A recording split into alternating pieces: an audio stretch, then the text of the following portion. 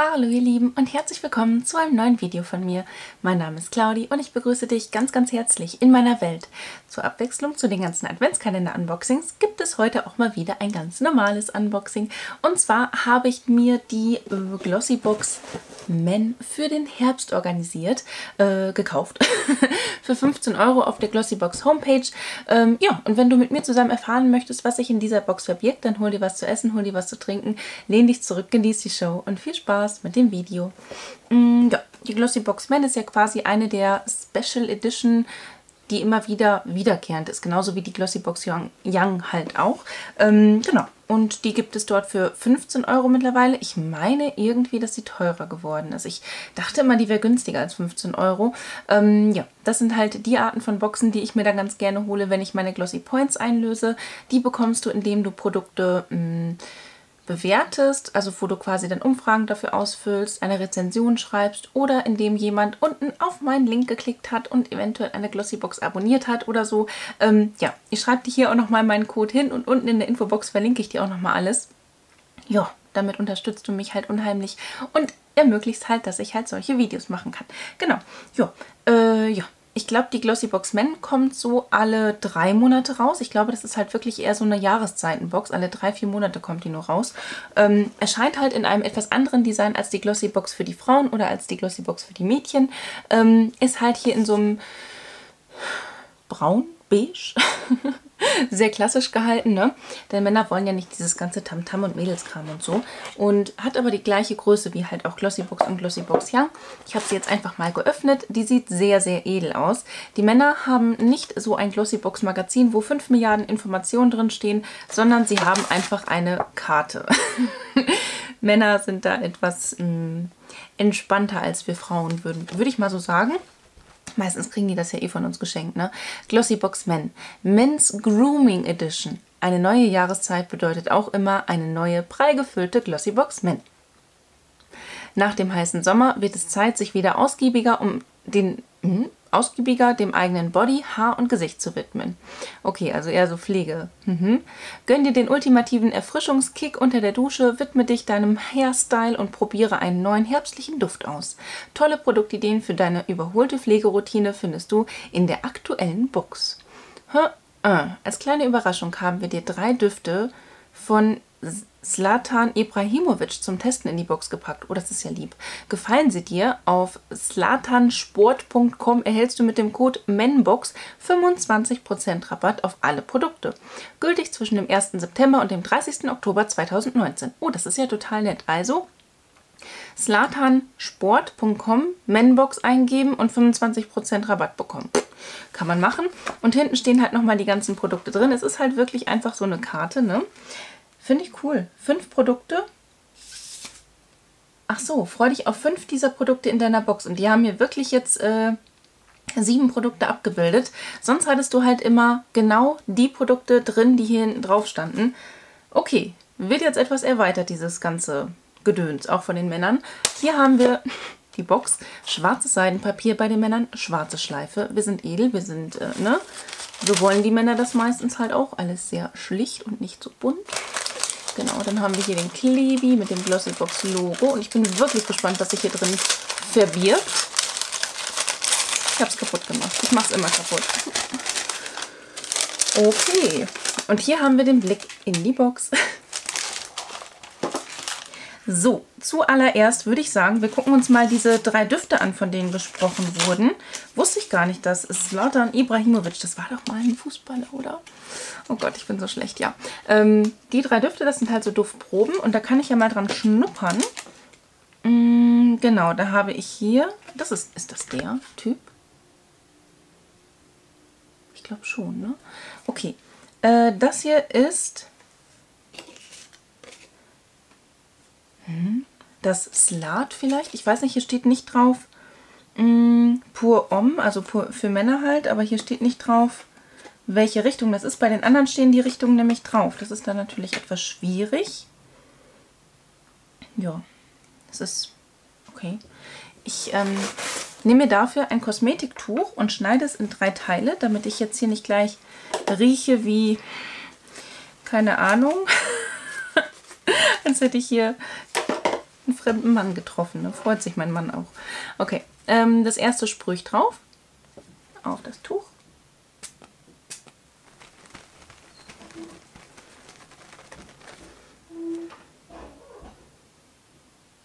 Das riecht wirklich sehr, sehr angenehm.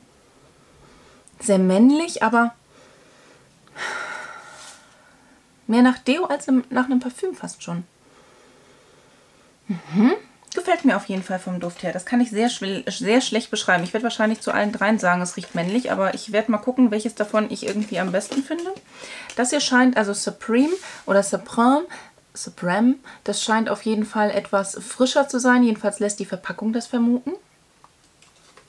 Ich finde es übrigens praktisch, dass das so Sprayer sind. Oh, guck mal. Ginger, Fizzy Citrus Cocktail, Juniper Berry, Lavender und Cedarwood. Wood vor allem, ne? Das soll da angeblich drin sein. Okay, also halt äh, Ingwer, ähm, spritziger Zitronencocktail, Juniper Berry. Oh Gott, was ist das nochmal? Das weiß ich gerade nicht. Lavendel und äh, Zedernholz. Also das muss dann wahrscheinlich etwas kräftiger riechen. Oh Gott. Das riecht auch gut. Riecht aber ein bisschen frischer. Das riecht mehr nach frisch gewaschener Wäsche als nach einem starken Männerparfüm. Das riecht etwas milder auf jeden Fall als das, was ich jetzt zuerst gerochen habe. Ja, definitiv. Boah, so viel Männlichkeit hier in diesem Raum, das kenne ich ja gar nicht, ne? okay, und dann habe ich das Myth Wood ja, das wird dann wahrscheinlich einfach holzig, waldig riechen.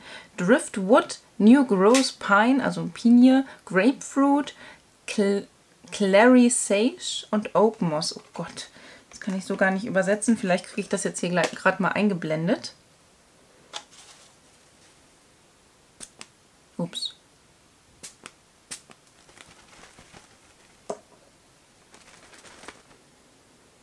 Oh Gott, das riecht richtig würzig.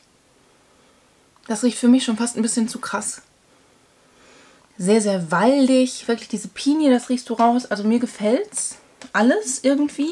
Aber ich glaube, das, was ich am besten finden würde, wäre wirklich dieses Supreme. Also für mich jetzt so, ne? Das riecht etwas seifiger, etwas milder, sanfter. Jetzt so. ich rieche meine Taschentüchern, Leute. Wobei dieses erste auch ganz geil riecht. Ne? Das riecht halt noch so mit so einem Hauch Leder quasi mit dabei. Interessant, werde ich meinem Freund geben. Kann er sich ja mal durchschnuppern und schauen, was er so, was ihm davon gefällt. Aber ich sag mal jetzt alle so zusammen, riechen wie eine Männerumkleide. Kommen wir zum Inhalt der Glossybox. Men, okay. Äh, da habe ich als erstes von Butcher's Sun ein Deodorant for Men mit Cooling-Formel. 24 Stunden Schutz. Ähm, kraftvoll und belebend mit Zedernholz und Veti, Vetiver, Vetiver, Vetiver Duft. Ähm, ja, ja, das wird dann wahrscheinlich auch etwas kühlender sein. Butcher's Sun, das habe ich auch schon öfters mal gesehen, auch jetzt hier in der Glossy Box Men oder auch in der Black Box Men, die es ja auch als Konkurrenzprodukt quasi gibt. Ähm, ja, Care Don't Kill, das finde ich übrigens auch total witzig als äh, Spruch, ne? Pflege dich, töte nicht. großartig. Und ja, wenn das jetzt mit Cooling-Formel ist, sowas finde ich persönlich eigentlich immer ziemlich störend. Ich mag das nicht so und ich weiß auch, dass mein Freund das nicht so gerne mag. Deswegen werde ich das jetzt nicht sprühen, sondern in meinem Familienkreis weitergeben. Ähm, ja, aber Zedernholz und Vetiver-Duft, das riecht eigentlich ganz geil. Ich kann ja mal gucken, ob man dran schnuppern kann. Nee, kannst du nicht, musst du halt aufmachen, ne? Aber es sieht schon ziemlich cool aus, das muss ich wirklich sagen. Aber es wird weiter wandern. Und es ist vegan. Dann habe ich hier drin Eye Cool Gel Line Smoothing for All Skin Types mit Arnica und Siberian Ginseng von Monu Skin. Das ist dieses Produkt, was ich hier drin habe. Und ähm, ja, das ist dann einfach ein Augenkonturengel für die Männer. Ich finde auch Männer sollten sich mal die Augen etwas mehr Pflege, für die Augen etwas mehr Pflege reinziehen. Denn das macht definitiv Sinn. Ähm, ne? Einfach frischer aussehender, aussehender Blick, ja, etwas strahlender und so weiter, finde ich ganz gut. Hier hast du so ein äh, Produktchen mit äh, 15 Millil Milliliter und die sind gegen ähm, Tierversuche, steht hier auch hinten drauf, das finde ich auch sehr nett. Und ja, das soll erfrischen und einfach diese ganzen Augenviecher, die halt uns alle stören, auch wir Frauen haben störende Viecher, ähm, wegmachen. Das ist gut. Dann habe ich hier ein Produkt drin von Matt Masky. Und Leute, das ist relativ teuer. Ähm, Wahnsinn, dass das hier mit in der Glossybox Men drin ist, muss ich wirklich sagen. Das finde ich echt cool. Ein Sleep Repair Renewal Nourishing Mask, also quasi eine Schlafmaske mit 20 Millilitern. Und ich denke, dass sowas halt nicht nur für Männer, sondern auch für Frauen geeignet ist. Ich persönlich bin ein Bauchschläfer. Bei mir funktionieren Übernachtmasken einfach nicht. Deswegen, ich gucke mal, ob er das vielleicht haben möchte. Ansonsten wird es anderweitig weitergegeben. Ich meine, es wird hier auf diesem Kanal demnächst noch eine richtig fette, fette, fette, fette, fette Verlosung geben. Denn ähm, ich habe irgendwie den Anschein, nein, das Gefühl, dass ich relativ in naher Zukunft mal so die nächste Tausender-Marke der Abonnenten erreichen könnte. Wäre mega cool. Dann, äh, ja, habe ich mir etwas Schönes überlegt. Da wird es ein Adventskalender-Unboxing geben mit einem Adventskalender, den ich an euch verlose. Genau, da bin ich schon fleißig am Sammeln und am äh, Präparieren, sage ich mal. Und da schauen wir uns das mal an, wie es so läuft. Genau, ja, ne? Aber das wäre auf jeden Fall eins der Produkte, was gegebenenfalls mit rein könnte. Und ich bin gerade mega neugierig, was sowas kostet. 69 Euro pro 60 Milliliter und da sind drin, was hatte ich gesagt, 20. Also ein Drittel davon. Alter.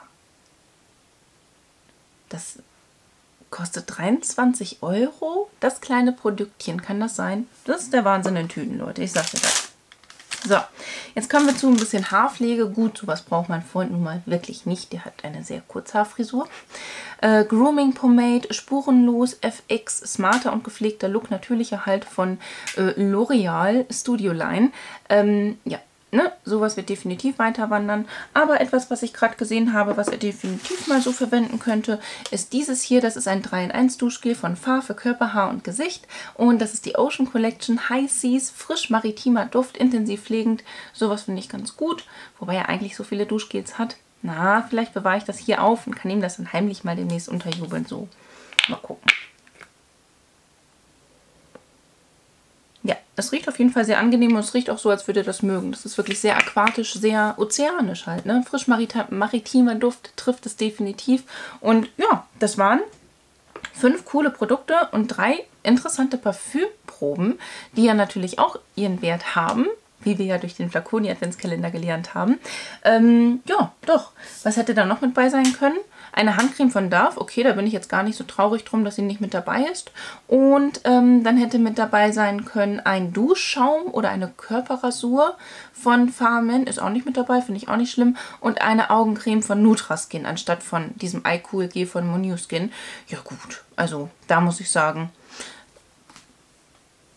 bin ich mit dem Inhalt sehr gut zufrieden. ja, ich äh, blende hier auch einfach mal den Gesamtwert der ganzen Produkte ein. Allein durch diese Overnight Mask bin ich gerade echt geflasht und denke, dass der Produktwert sich so pff, um die 50 Euro bewegen wird. Nein, nicht wirklich ganz so hoch, ne? aber schon so 40 Euro. Wird schon hoch sein, doch, denke ich mal, ne? Wenn ich so die Produkte hier neben mir stehen sehe. Und ähm, ja, das war's. Wenn dir das Video gefallen hat, lass mir doch sehr, sehr gerne einen Daumen nach oben da. Würde ich mich mega drüber freuen. Ansonsten wünsche ich dir einen wunderschönen Tag, einen wunderschönen Abend. Lass es dir ganz einfach gut gehen. Fühl dich ganz doll gedrückt von mir. Ich verlinke dir mal hier oben meine Playlist zu den ganzen Unboxings meiner Abo-Boxen.